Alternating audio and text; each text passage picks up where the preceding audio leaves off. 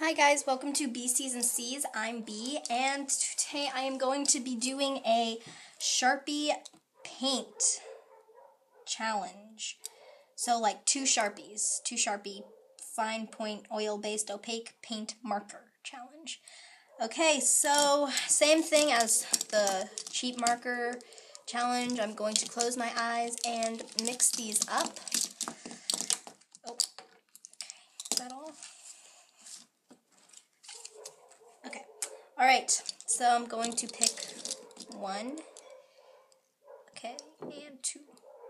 Wow. Okay, these aren't actually that bad. Okay. I'm actually very happy about this. Okay, so I'm going to leave these right there. Um. All right. Let's get into the video.